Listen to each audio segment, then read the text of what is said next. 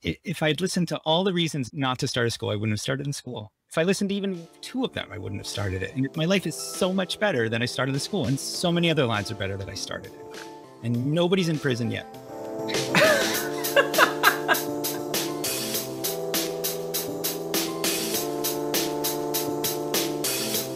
What does it take to become a successful writer or artist? There are some destructive myths out there about what a creative career is supposed to look like. And we're kept in our lane by the undermining belief that as artists, we're somehow incapable of building autonomous, sustainable careers if we choose the work that's closest to our hearts. So we're going to tear down those myths and get the truth by going to the source. Incredible professional creatives who followed every path but the expected one to success on their own terms. I'm cartoonist, author, and coach for creatives, Jessica Abel, and this is The Autonomous Creative. If this is your first time listening, you are in for a treat, and there's so much more to come. So be sure to hit subscribe to get the episodes as they drop. In this episode, I'm really happy to have my dear friend, cartoonist and teacher Tom Hart, as our guest. And in some ways, interviewing Tom was kind of a gimme we could easily talk for hours about the subject of this podcast, how real artists actually make their lives work, and and we have many times over the years. So I knew he'd have amazing, valuable insights about the path to creative career success. First of all, that what success looks like must be self-defined always. And for Tom, that means freedom is number 1. When he has creative autonomy, he's happy. Tom spoke about the invisible bargains we make to have a life lived in alignment with our ideals and creative goals. He asked, What are we willing to put up with? How much fear? How much shame? How much financial precarity? And we talked about why shame comes into it and how to get over it. We also discussed why financial precarity isn't a prerequisite for creative autonomy and freedom, and how to get that message out, we all need to be talking more openly and clearly about what's happening behind closed doors in creative people's lives. Tom Hart is a cartoonist and he's the founder and executive director of a comic school, the Sequential Artists Workshop. His 2016 memoir, Rosalie Lightning, debuted at number one on the New York Times bestseller list.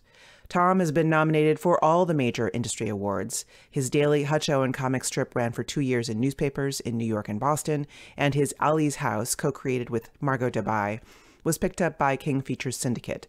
He's been called one of the great underrated cartoonists of our time by Eddie Campbell, and one of my favorite cartoonists of the decade by Scott McCloud. And I will tell you, he is one of my favorite cartoonists and humans of all time. And we'll dig right into it with Tom right after this quick message. What does it really take to make it as a creative? This is the burning question that's driven me for forever, really. I used to have to try to ferret out the answers one by one when I got a chance to hang out with a fellow artist or writer, and when I judged it safe enough to ask that delicate question we're all dying to know the answer to How do you make it work? Every guest I've interviewed so far has mentioned this. One of the secrets to how they've gotten as far as they have is that they've asked every creative pro they met every chance they got. Asking the question often enough is a game changer. We learn so much each time, starting with the fact that whatever we thought was working for that person, we were probably wrong. We each imagine the other person has some kind of secret and that they've made the leap over the giant chasm between beginner and pro and feels safe on the other side. And inevitably, neither person feels that way at all and is amazed to realize that from the outside, they seem to have it all figured out. I'm pulling that seemingly taboo conversation out of the shadows on this show it's also the conversation we take further every day inside the community of Authentic Visibility. Authentic Visibility is our group coaching program designed to help dedicated creatives who are very reasonably wary of marketing and promotion into powerful advocates for their vision and their work, setting the stage for huge career growth and a major role in the larger cultural conversation. Got a major project dropping soon and you're determined not to let it founder? Get the support you need to create a reasonable promotion plan that aligns with your goals and fits your life. Don't know how to talk about your work without squirming? You'll practice and refine your messaging in a safe, supportive space inside Authentic Visibility. Hate or fear social media and don't know what else to do? There are lots of options, and you can workshop solutions that suit you and your approach with your peers. You can learn all about authentic visibility and get a sense of my teaching philosophy in a free 90 minute class specifically for creatives called How to Get People Wildly Obsessed with Your Work. And in it, you'll get a head start on developing clear, compelling language for sharing your work with your audience so that they get it and they want more. If you want your work to make its mark in the world, check out the free Wildly Obsessed class and supercharge your ability to connect with new fans in just 90 minutes. Go to jessicaabel.com slash wildly and join the free class now. That's jessicaabel.com slash wildly. Okay, let's start the show. You founded your brick and mortar actual school called the Sequential Artist Workshop in Gainesville in 2012, I believe. Mm-hmm. And it's still running in real life, but of course it's all online right now. And also there's an online segment that is always online, right? But you just moved to Providence. Mhm. So what is your work life like? Like, what do you do all day? Uh, it's such a tricky time to ask that question, right? Because of the pandemic, and and the main issue there is my school age daughter is always home, so I'm really wrestling with with helping her get through what schoolwork would be, but also manage the feelings of not having seen her friends in so long and not being in school. And so, honestly, most of my days these days, most of my time these days is spent um, handling the mental health of a seven year old. But let's say prior to the school year, a lot of my time is spent um, in the community at SAW, like in the online community. Again, this is the pandemic time, talking with people, keeping people going, and then carving out a few hours for myself a day if I can to sort of run in parallel with them. A lot of times, if they're working on projects, I'm working on projects. Um, and a lot of the frustrations they're having, I'm I'm having. I'm not sure if that's by, design or just something that's happened over the course of all my teaching, but I tend to be um, just as frustrated as my students, and I, I sort of try and share it with them. Which I know is such a it's such a valuable thing, and one of the reasons I wanted to talk to you today is um, that you're always so generous with your your own process and like the way things work for you and way things aren't working for you and all those other kinds of things. And I think that's that's exciting, and I think it makes a huge difference to students to get some access to that. I don't know if that's a natural proclivity, right? But I, I do have this desire to share the process a lot. And I've noticed it. And in fact, at least twice in my life, I've gone through an intense creative process. I would say with the comic strips and then with with my memoir. And then after the fact, I've written a book debriefing on the process. And it just sort of happened naturally. I'm just like, what am I going to do next? Well, of course, I'm going to explain everything I just did, which um, it, I don't know. It's just this natural need to share the process.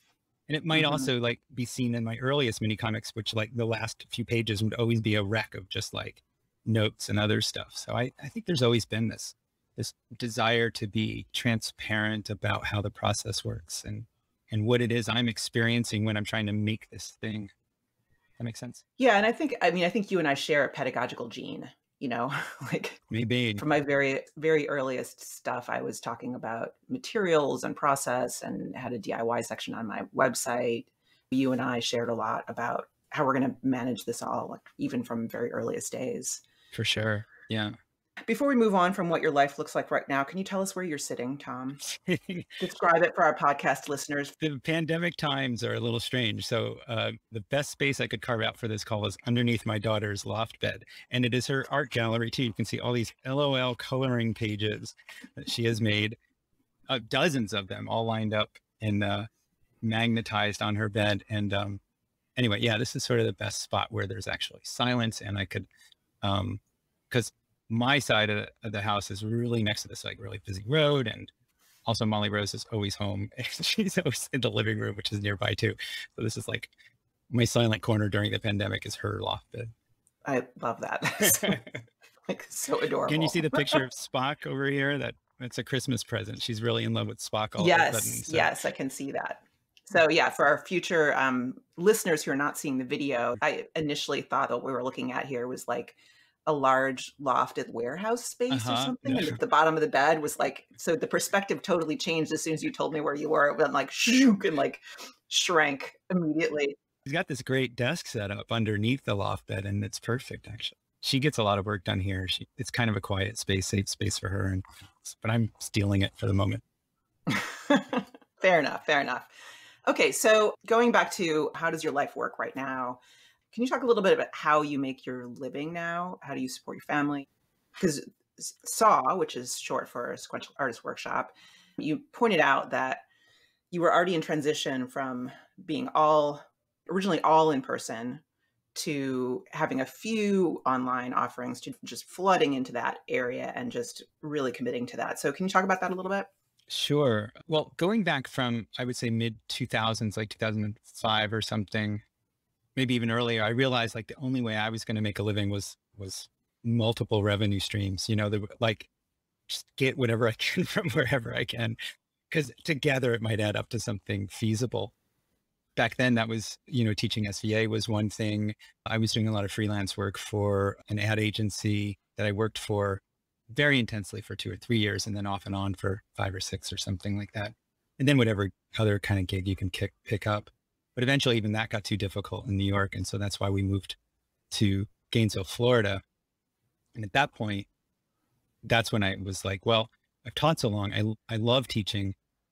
Other people have founded schools, meaning one person, my friend James in Vermont. And so I was like, I'm well, I'm going to start a school. Also partially because I don't I don't think I'm very hireable in other ways. So I wasn't going to look for a job. I'm just going to make a job.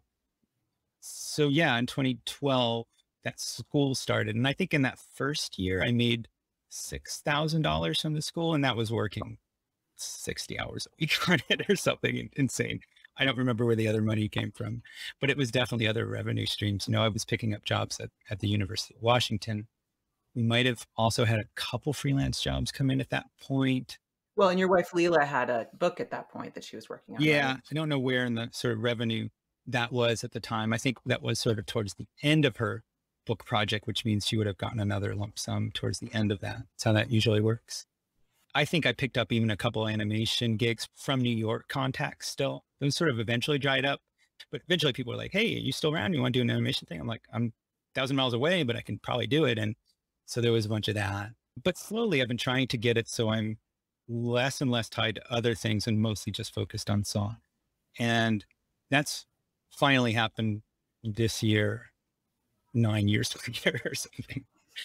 And so my main revenue stream at the moment, I was a contractor for the school, I should say, even, even running it as executive director. I was just like picking up scraps and paychecks from the school when I could, paying myself when I could. I only put myself on salary, a measly salary about a year and a half ago. And I finally gave myself an okay raise. Um, uh, June. Actually, maybe more like March. But so yeah, so SAW is my main source of income. I don't even like taking other gigs at this point. I don't like spreading my attention that much. You just said that in the past you thought I need to have multiple streams of income in order to make things work. And it sounds like, and from our conversations, it seems like that's not how you're seeing it now. Now you see it as it actually needs to be focused, needs to be the one stream of income. True. But then the question that I think a lot of people have, and I know we're going to talk about this a little bit more later, so we don't need to get into it in detail now, but what does that mean about your creative work? Because the earlier Tom, the reason you're trying to get all these different income streams going is because you were trying to still make comics the center mm-hmm. financially as well as identity wise. Is that right? Yes and no. It's at a certain point I realized that comics wasn't going to support me financially. Like my own vision, you know, it, it's sort of a hard realization at some point. Maybe other people are smarter than I am, but I think there's a hard realization when you realize there's a minimal number of slots for the people whose personal vision will be supported financially, right? And I, I just at some point realized like, oh, I like making books. Some people like my books, but they're not going to pay the bills. Clearly, they're not going to pay the bills. And um, it can be a, a, a rude awakening, but to me, it was an okay awakening. It was like, oh, okay, there are other creative things I can do that can pay the bills. And so when I did a bunch of advertising and PR work, it was a really creative job. It was a lot of a lot of fun creative stress and paid really well was actually eventually too much creative stress. And I got out of that. So those multiple revenue streams were the way I was making a living. And, and my own vision, my own comics was a paltry, paltry part of it, but it supported it. And I still did it quite, I was quite active and prolific during those times when I wasn't making much money even on that. But now you, you saw correctly that I'm trying to condense it to one revenue stream. And that's one, I would almost say that's one sort of middle point because the revenue streams from the sequential artist workshop in general are multi, very multi, all over the place. And um, when I'm trying to make it that that's the only place paying me, just because I want some stability in in our finances. I want to know next month I can pay. We're going to have the same, roughly same number of bills and same amount of money, that kind of. I love your quote when you you shared a bunch of history with me and you said I started a school like most people start a band. it's true. I was like, well, we need a space. Well, you know, I mean, there's so many things. There's so many reasons why people could tell me you can't do that. That's not the right way to do it. You didn't get the right equipment. You um, don't have the right permits. You don't, you know, you don't know how to play guitar or whatever. The one thing I can do is I can teach pretty well. And I think I'm a trustworthy and reliable teacher. From there, I just said, all right, let's build something around that. And, you know, I chose an affordable place that had spaces. I found the best teachers I could, and we created a small community and grew and it grew and it grew. Yeah. But, but yeah, it was just like, hey, let's start a band. let's start a school. Yeah. Yeah, I absolutely um, empathize with that impulse. It's been something I've done over and over again. Like, we're just, I'm just doing this. This is mm-hmm. like the most logical thing to do with my time. You're a guy who's then, you've been working in like web design and PR, and you're like, I'm unemployable. What? No. Yeah, I know that's probably not true. I, yeah, there is probably a Earth 2 version of me or a parallel universe version of me that's creative director in some PR firm or something. But for whatever reason, I did not want that path at all. Yeah. I hope people find this related. There was a certain point, I can't remember, mid 2000s maybe, when I was um, with my wife's relatives, one of whom is one generation older and is a lawyer. And, and it was like maybe Passover dinner or something. He was saying, Yeah, I have no idea where my next client's coming from or what next month it's going to look like. And I was like, Wow, if a lawyer is, is saying the same thing I'm saying, then I just might as well stay an artist. You know, it's not, if they're if they're having to sort of figure it out on the go constantly, then there's not much shame in what I'm doing. And that I think actually the the the shame that I was not rich and famous and having easy time of it really weighed heavily, but that, that helped let it go a little bit. For sure. I think it's when you realize that other people, like lawyers, for example, not everybody, but other people do have essentially small businesses mm-hmm. and have to figure out the same kinds of things then it changes your perspective on what you're doing. But I think too, your perspective on sequential artist workshop and what your role is there, not just I'm the director, I'm the teacher, but you are the CEO. You are the person who has to make the decisions. That's really shifted over the last few years. Yeah, I've had to learn a lot of business skills. Half of them I learned from you. I don't like learning them, but I got it. You know, I, otherwise I would be taking that Earth Two path. I would be saying, "Can I have a job show me to my desk, but I definitely don't want that. So I'm like, give me some tools to help me figure it out myself and I'll, and I'll do so. And honestly, I'd rather be drawing, but I enjoy this second most. And part of me, part of me probably enjoys it just as much. Yeah. I mean, I find, I find the process really creative mm-hmm. personally. Okay. So what does success look like to you? Freedom to some degree, you know, a little bit of autonomy, and I, I'm, I'm really grateful that there's that we're in a time where autonomy is a little easier to come by. The web has made so, so many things different. Are we still calling it the web, the internet? I don't know what we call it these days, but anyway, the information age, all that super highway. Yeah, you know the way in which we've all become connected in the last 20 years has made becoming autonomous ways. Someone with my skill set, which is medium, would have had no choice but to get a job in a PR firm or an advertising firm. 30 years certainly 40, 50. Yeah. So uh, that autonomy is so refreshing and partially because I just do have this punk rock rebellious streak where I need to see things done with at least some some amount of idealism still still intact. So success is like, can I make things that mean something to me and can I help people make things mean something to them? And that isn't just feeding a commercial engine, which I realized I was trying to do in New York in various ways. But I just want to help people connect to that sort of expressive, creative part of themselves. And I want to do it for myself too. And so that that's the balance. It's like, here, let me help you, but I'm not doing it enough myself. Um, but that's that's that's success. It's just being able to to have the the freedom, the resources to do those two things, help people be more more themselves creatively. Yeah, I, I think that's I mean that's the dream, right? It's it's I think it just turns out to look different than we thought it was going to look somehow. Yeah, you know, I mean, it, it, it's hard to you know ask a, a much younger person the dream, and it's um, I remember I was friends with great number of cartoonists in, in my early 20s in, in Seattle, Washington. And I think we had similar conversations. Like, you know, what does it mean to you? And I remember Megan Kelso, she said she just, she just wants a line of books with her name on the spine. I was like, yeah, that's cool. But for me, it was more like it, going back to what we were saying earlier about the process. It was more about just always staying true inside of the process. That was, was what was really important to me. I did want to make a bunch of books, but more importantly, I wanted to always be sort of alive inside the process of it. Because you and I both know people who have made tons of books, but for other people, or maybe they were done for hire and they're not proud of them. I'm not proud of all my books either, so maybe that's a bad angle to go down. But I don't think merely making book work would have been satisfying and is is a measure of success for me as much as staying true inside the work I'm making. Right. Well, it's a choice because I think that both you and I have gone in a direction of, in terms of uh, making our lives work financially, of not trying to make the books pay the bills. But we know other people who mm-hmm. seem to be pretty happy making the books pay the bills, mm-hmm. and but then that's their day job essentially, and then they have the books that are their personal vision projects. I don't have that and, kind of energy or talent to do both of those. Yeah, I mean, for some people that's the way, but I don't think that that has to be the way. Right. You know, I think for a lot of creative people, it seems like it's got to be that, or if you're not making all of your living from the, the primary thing you're trying to be doing, then what are you doing? Mm-hmm. I did want to ask you, like, what did success look like for you when you started? And you basically just answered that. But you said something also in some notes that you sent me about a voracious determination to be seen.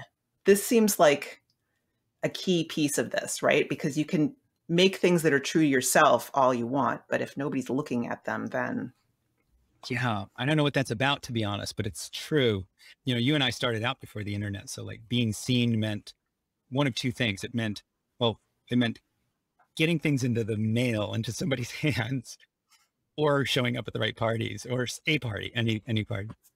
Conventions might suit I don't I don't know why, but when I when the switch flipped on for me to start making comics, and it wasn't until I was like 20, probably, even 21 maybe. And in most people, it's like nine or 12, you know, but for me, it was like 20.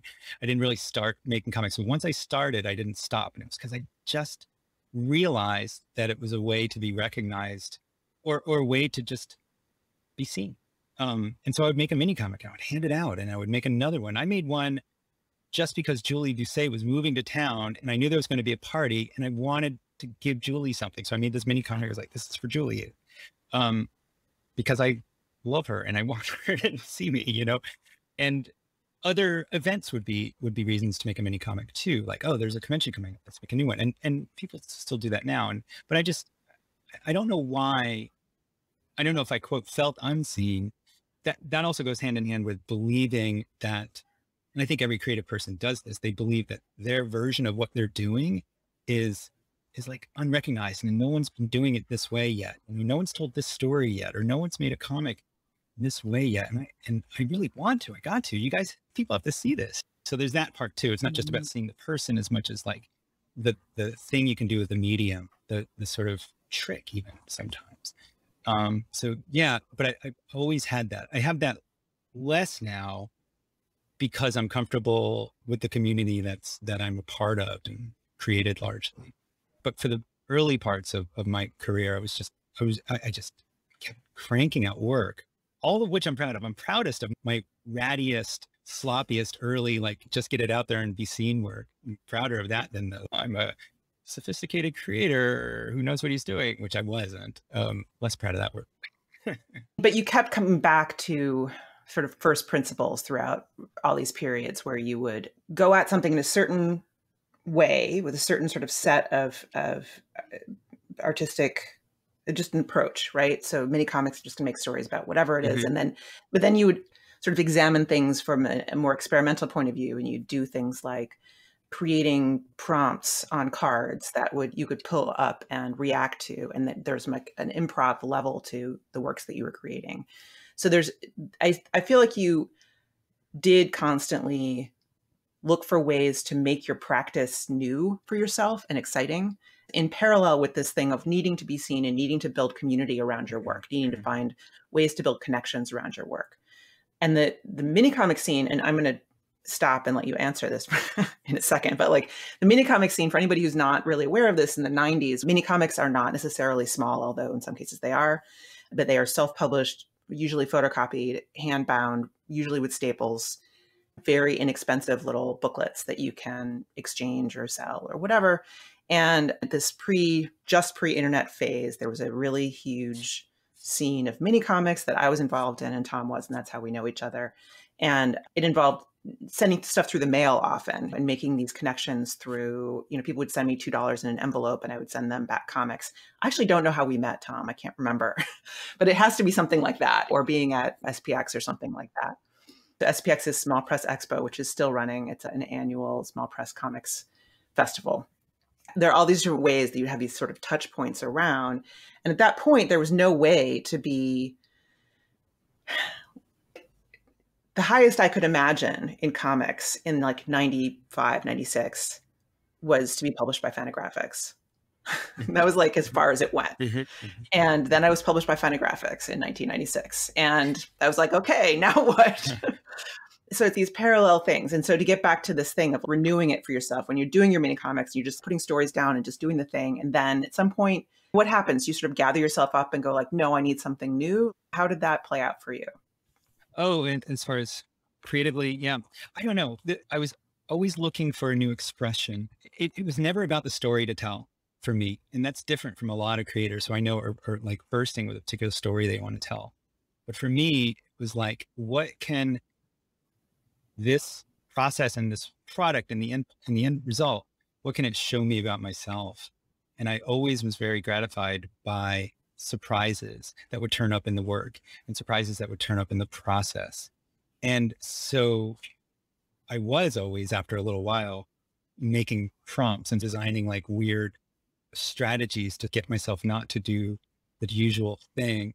And so when I wouldn't do the usual thing, it would usually be a failure because I'm not so talented that my failures are awesome, like Prince or something. so, so that's, I, I've now learned to keep most of the failures to myself and I have gobs and gobs of sketchbooks and things. I enjoy the kind of playtime in there, but it was something about, yeah, everybody sort of finds their own creative process and, and what, what really engages them about the creative process. And like, I made a book, my first commercial book in 1994 or something. I think I made it 93.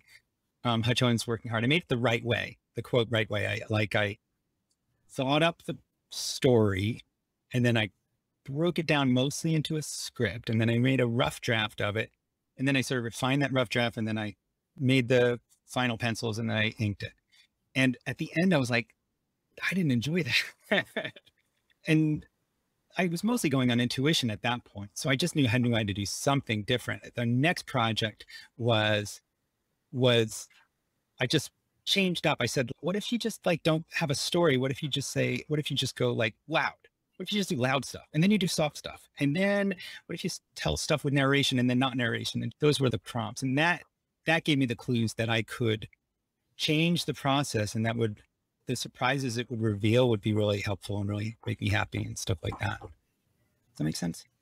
It absolutely makes sense. And actually makes me think of another question that I had about Rosalie Lightning, the book, and how you've said that that this was in some ways you, it's really hard for you to even think about what the book is. Obviously you're talking about the uh, the black hole of losing rosalie and how awful it is but then using the art in some way as a way to process trauma.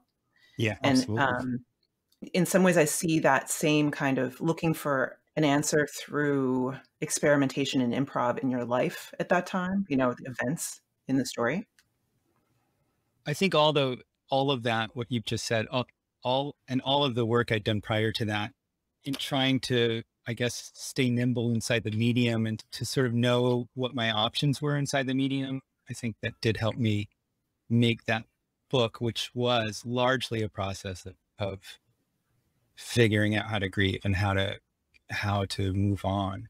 I don't know if I I don't know if I hadn't been such a restless creator prior to that, if I would have had the tools I needed. But again, I'm a particular person and those are the particular tools I needed. And so I had been gathering them coincidentally or accidentally prior to that. A different person might need to make a different book, right? To get through a process like that. And maybe they, hopefully they would have the tools they need. Is that answering your question? Because a lot of what, what I did in the 20 years prior, however many years, like a lot of the creative habits I had, I developed and a lot of the sort of odd strategies I'd come up with did help in that process. Yeah, I mean, I, I it, in the context of your answer, I was thinking about like how would I deal with something awful like that, a, a terrible event, and I don't think I would have the same resources, the same set of strategies to go through and and and use for myself. I think it's really it's really interesting how how that artistic practice fed you and sustained you. Yeah, it, it really um it, it definitely showed me that that the connection that I have with this art form is a real one and a beneficial one because I knew what I, where I had to go, right? As a person, I knew what I had to say. I knew what I had to believe. I knew how I had to feel, but comics was the only way I could get to those places. And so that it was so essential that I make that book. I, have been asked a lot of times, like how much of that book was for yourself and how much of it were you thinking about the reader? And the answer is, is thinking about the reader a little bit, but mostly I was making a book that, that it was just like tunneling, tunneling through with the tools I had. And the tools I have, again, yeah. I'll say are remedial. That's why it's pretty sloppy in some places.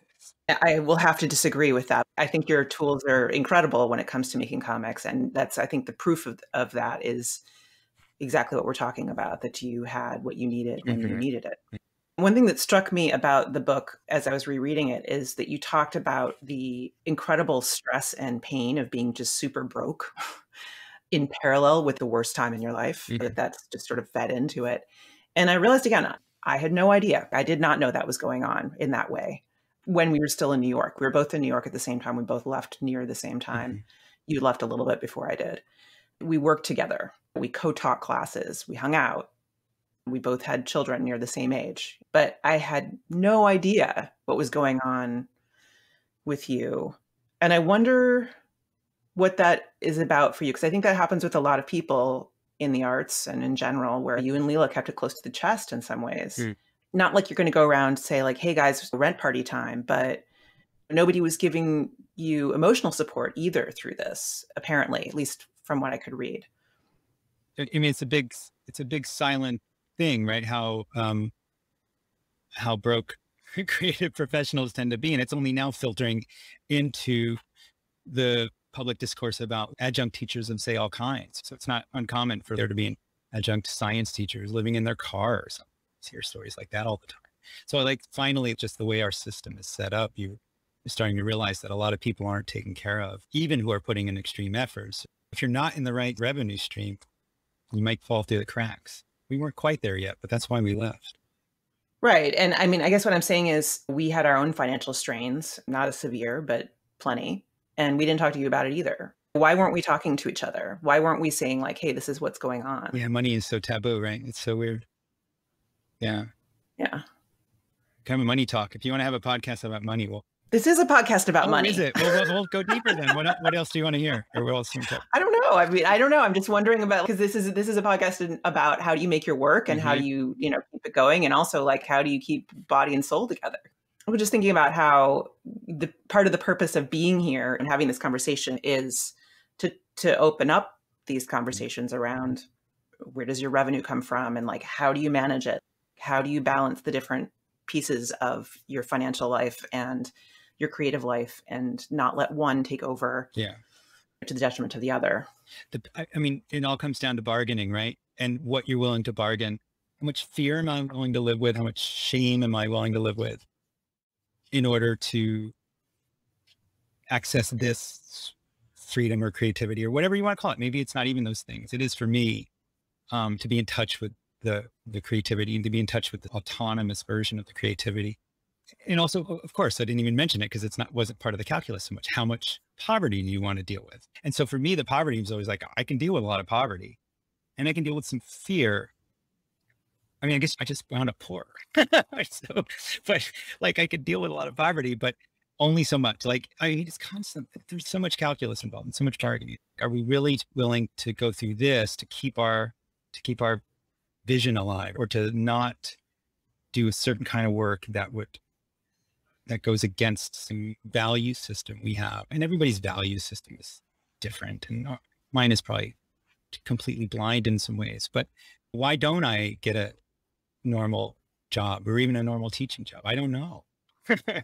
why do I settle? Why did I settle in 2012 for $6,000 in order to form my own school? I, mean, I'm, I don't know. Well, there's two things that I want to ask about. First of all, as you mentioned shame. Uh-huh. Why shame? Why is that part of the calculus around this? Well, shame's going to come from two different places, right? At least two. It's going to come from the larger society and it's going to come from your family unit. And the larger society, at least in my head, in my world, told me for a long time I should be, I should be making a, a living from my from my art. It was a young person's shame, I think.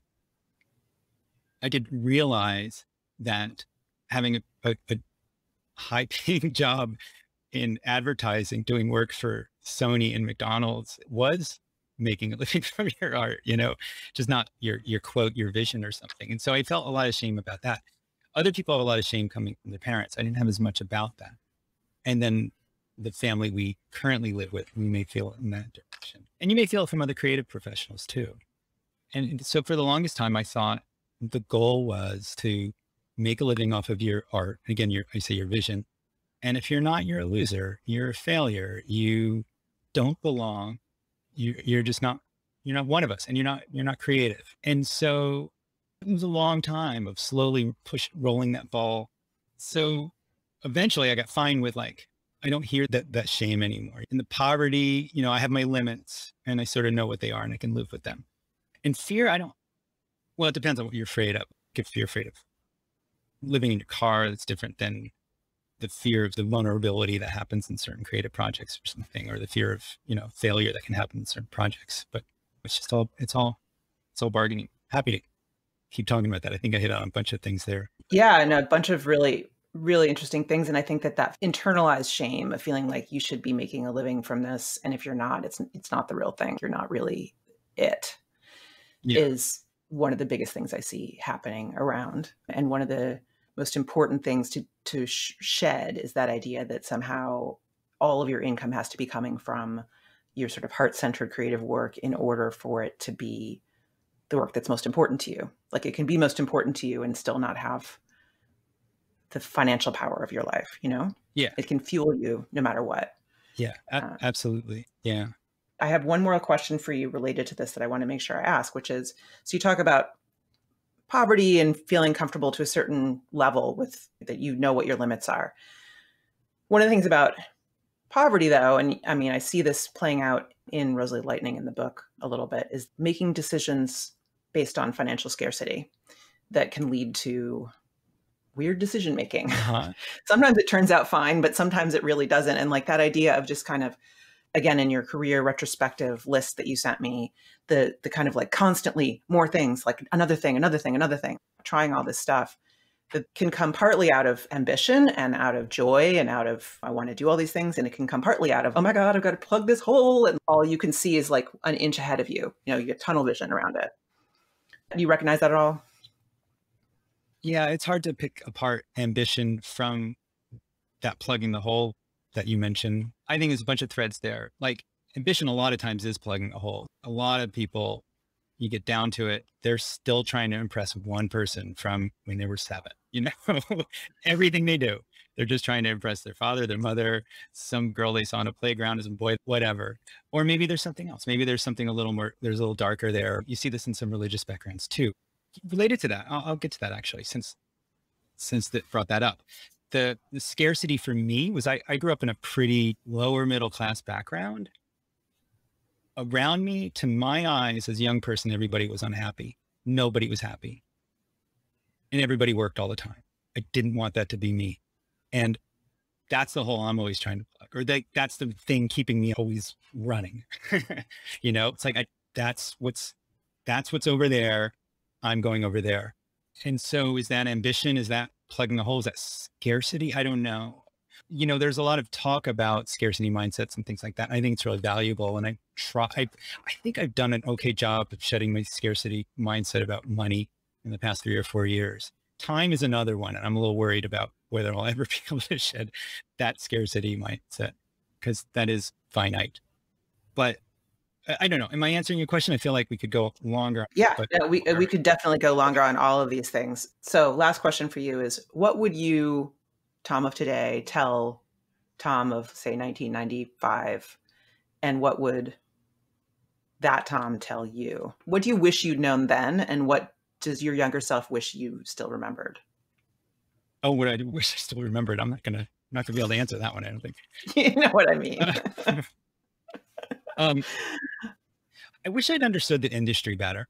I thought there was a certain projected timeline for person making an independent comic who then just increases in popularity if you keep making better comics and then you're a then you're a famous pro or whatever. I don't even know what the word would have been.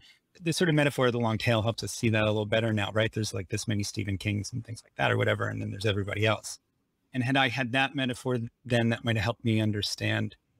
It would have helped me forge a path in the creative arts, taking as many different opportunities as, as I could and, and learning things rather than believing that my natural path was to be published author, famous published author. Everything's good once you start selling this many copies and everyone loves you and publishers are having bidding wars over your next projects or whatever. And what was the last question? What would younger you think of where you've landed? To be honest, I think of that all the time. I think he'd be okay with me.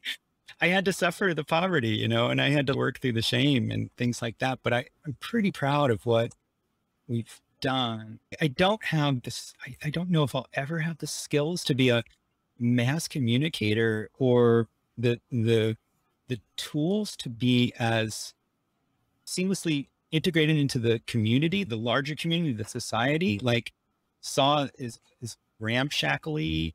My comics are ramshackly, but I believe in them. I believe in the school. I believe in all the students that come through the school. I believe in my own work, but it doesn't look like the other stuff. You know, I'm okay with that. And it's hard for me to be okay with that, but definitely younger self would be like, dude, relax. That's fine. it's fine don't belong, you know? yeah. I love that. Thank oh, you. Oh, good. I'm going to dive into some Q&A here. Okay. So Mandy asks, Tom, I know you don't do Instagram or Facebook intensively. How do you find your students? How do they find you? I was going to ask about this, but I, Mandy got to do it for me. Well, the SAW Instagram is pretty regularly updated by Emma Emma Jensen, our, our co-conspirator. I think she's doing the Facebook too. I don't use it that often. Every once in a while, I think now's the time I'm going to get started on it again. You know, that's something interesting, not to get too into it, but when I was starting the school in 2012, I thought also, like I was saying with my own artistic career, that all it would take is like you build up and you grow and you get better and you grow and you grow and, and you know, and then things become easy and it didn't work out that way. We had like a, a, good year where we had six students. That was our first year. The next year we had six students. They were all paying full price. Then the next year, I think we had nine. And then the next year we had 11. I was like, oh, this is how it's supposed to work. And eventually we'll get to 25 or 30 or something. But we never did. It sort of stopped at some point. And I realized like, oh, you have to put a different kind of effort in to keep this going. And it took me a long time to figure out what that effort was. And, and still don't know but it involved going to conventions. It involved getting out personally more. I've made class visits that have brought in students. I mean, two two students came from Seattle because I visited their class. Like sometimes it's like really low return on effort. It's like, oh, all I have to do is travel across the country to get new students. We do a little Facebook advertising. Social media is a, a tricky one that I haven't really, you know, it's a longer conversation to have. Yeah, well, maybe one day we'll do do that conversation. Sure. Gerardo asks, how do you balance your creative life, your primary income source, and family life with taking care of you? How do you keep healthy? Oh, well, the pandemic has made everyone unhealthy. I'm miserable. um, no, I'm not kidding. Like, I'm not stretching enough. I'm not moving enough. I'm angry at my family all the time. They're ang- they're angrier at me than I am at them, let me say. But that's specific to the pandemic. In other times, I've gotten good all my life, or all, at least all my adult life. I've scraped away at the margins of the time I have to either do my creative work or to like exercise and things like that. And that's just how I do it. I just find it in the in the margins. If I can, if I have 20 minutes here, I'll go for a run. We installed a hammock at SAW at one point, and that was my way to be like, okay, going in the hammock for 15 minutes. And that definitely, that was like C3PO turning himself off. That was definitely like taking care of Tom for 15 minutes. Those kinds of things, not everybody's the same way, but I could get by on those little scraps of time just for myself. But also, again, working on my own stuff, it feeds me so much. And maybe that just keeps me going too. So even if I work 20 minutes in, in a day on the personal thing that you called heart centered, if I work for that little on that, it'll really feed me. Something that we say around the Creative Focus Workshop that creative practice is self care. Mm-hmm. So that brings us to another question, actually. Chris is asking about finding the physical space for SAW. How did you go about thinking about building an actual physical school? I just, I just wandered around neighborhoods and asked who owned this building and what's this space. And I, and seriously, you know, you get on Facebook, you say, who knows somebody who, again, just like starting a band, you just keep your ear to the ground. You just talk to people. You just try, just try to find the resources you need. And the resources we need wasn't big. Our first school was really tiny. We've moved four times. We're about to move actually next week, so that'll be the fourth. But it was really tiny. It served the purposes we had of of having the small school. We got a lot of great work done. We taught a lot of great people there. But really, I just in another culture, I might be in prison. I'd never take no for an answer when it comes to like, you can't do this, you can't do that. Luckily, I'm not in food service. I'm just I just teach art. But I would be like, can we use that? Can we use that building? What's it's a little run down. What's it uh zoned for? Oh, whatever. It doesn't matter. We'll just try it. You know, You're just so punk rock and DIY. I love it. If I'd listened to all the reasons not to start a school, I wouldn't have started in school. If I listened to even two of them, I wouldn't have started it. And it's my life is so much better than I started the school, and so many other lines are better that I started in. And nobody's in prison yet. That is one of the fears, though, right? If you try something, you're like, "Ooh, this is scary." It's like, what's scary about art? Nothing is scary about art except you're just gonna feel weird and bad. But you, nobody's gonna get hurt. Nobody's gonna wind up in prison, making a mess, telling a lousy story. None of those things hurt hurt you that much. Yeah. Yeah. No, just taking action and seeing what happens as a result of it and not dying and then doing it again. Yeah. That's that's the key. Yeah. That's Yeah, that's how you defeat all your fears. yeah, yeah. Not dying. So Tom, I just want to thank you so much for hanging out with me today. Thanks, Jess. That was really great. I feel so warm and fuzzy about this. Awesome. How can people find you? sawcomics.org is the best way. Learn.sawcomics.org is the online comics portal. Sawcomics.org is the, the sort of brick and mortar. We had tons of stuff there. Like I said, we have gazillion classes, disorganized. I'm trying to organize it, but always on the run. Such good classes. I mean, Tom, you're just you're a transformational teacher. There's a lot of former students I see here today in the chat and Oh, wow. just a testament to who you are as a teacher that people are following you and with you for so long afterwards. Can we find your books there or is there someplace else we should be looking for those? Uh, I don't know.